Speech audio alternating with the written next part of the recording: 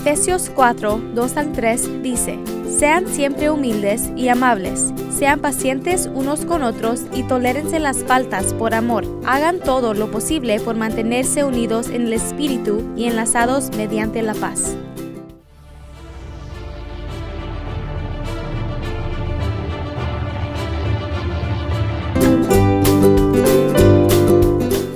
Un día por la mañana me levanté con ganas de hacer un buen desayuno.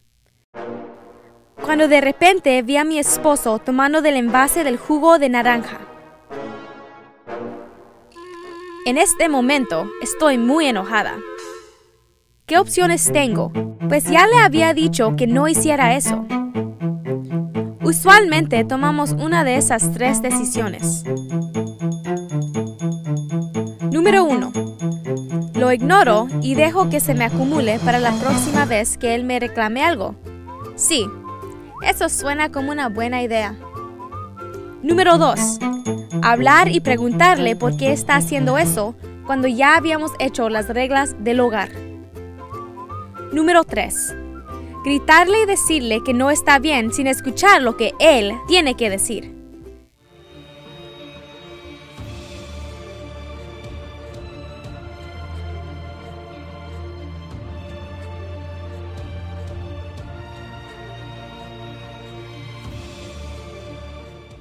Muchas veces cuando vemos algo que no nos agrada, tomamos prejuicios de la situación y no preguntamos ni aclaramos lo que sucede.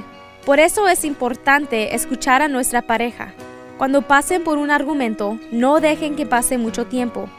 Recuerden que necesitamos soportarnos con paciencia los unos a los otros en amor.